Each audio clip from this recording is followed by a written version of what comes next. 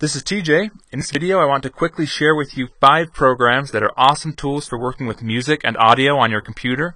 These programs are Audacity, Linux Multimedia Studio, Ardour, Mixxx, and Spek. And all of these programs are completely free to download and use for both personal and commercial use.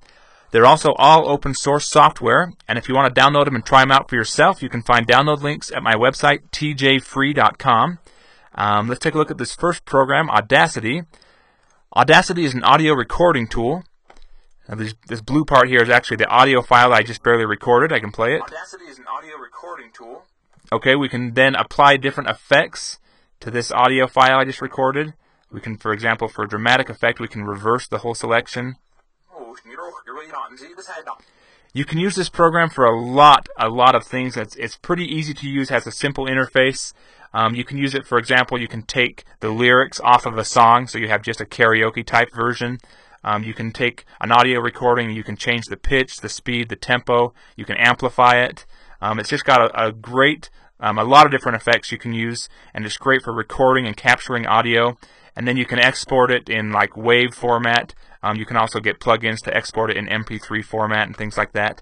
And then you can use those recordings to in, in some of these other programs we're going to look at. Audacity works on Windows, Macintosh, and Linux. So does this next one, Linux Multimedia Studio. It'll work on uh, Linux, Macintosh, and Windows. And it is a program very similar to Fruity Loop Studio. So you can create some uh, some pretty cool music with it. You can you can use audio samples like things that you record yourself, or you can also create synthesized music. I'll show you an example of a of a piece that uh, demo that comes with the program.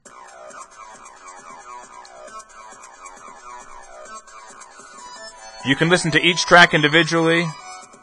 Here's the bass line. This is one of the melody parts.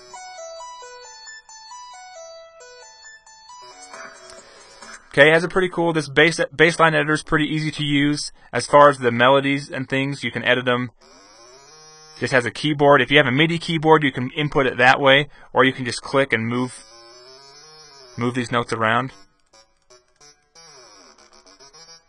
And then when you play it,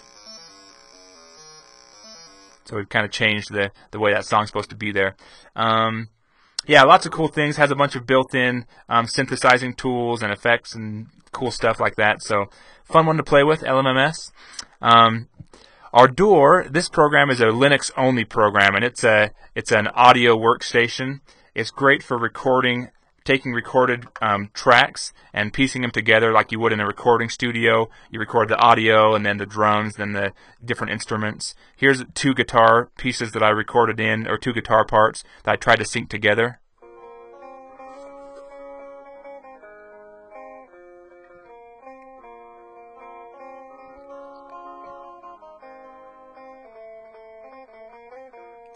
It lets you drag. You can drag the different parts around, and uh, you can also apply lots of different effects similar to what you can do in Audacity. But it's designed for working with multiple tracks. Ardour is. And again, uh, this one is a Linux-only program. You have to use. I'm running Windows 7. The reason you can I can show it to you is because I'm running a virtual machine. So that's an option too. If you have a Windows computer and you want to still use Ardour, you can install a, a vir virtual Linux machine to use it. This next program, Mixxx, is a DJ mixing tool. You can use it for live broadcasting or for for dances, clubs, parties, things like that. Um, I'll just show you a sample of what it can do.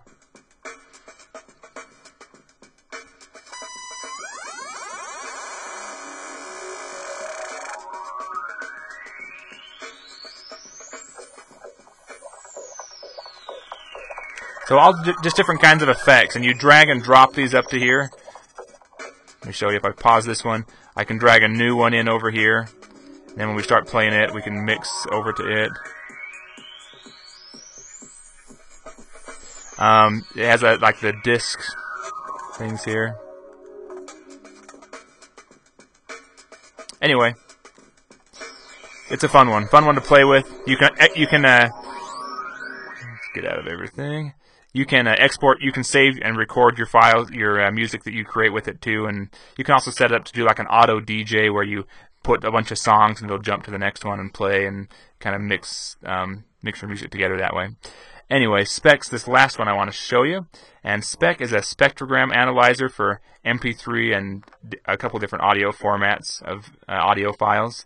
So it shows you, um, for example, you can it tells you the, the, the quality it visually represents the quality of an audio file is what I use it for anyway so if I go to uh, like I have a, a, file here that's I can throw it in here and I can tell right away that it's been the tops of all these of the of the audio files been clipped off. So even though it says it's a it's a high high quality audio file from the specs of it, um, it's going to be uh, I can tell that it's not really that great. And I guess you can, in theory, you can tell by listening to it too. But it's a great tool for just for a quick glance at what your what kind of audio file your your what kind of quality of audio you're you're going to be working with.